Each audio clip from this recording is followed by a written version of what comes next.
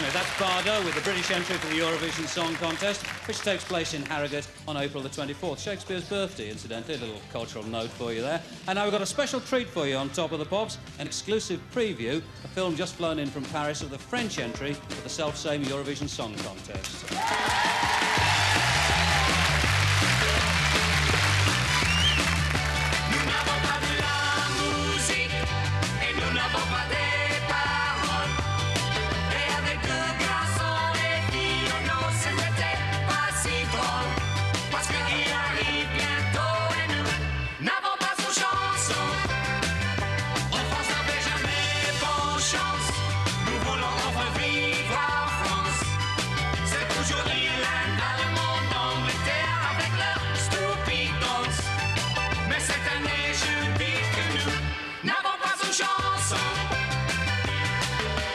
Qu'est-ce que la différence?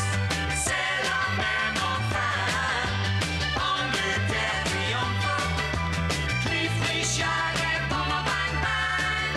Mais si à la prochaine année, j'espère que nous pouvons gagner. Peut-être nous avons sa chance, qu'elle est toute bonne idée. Et je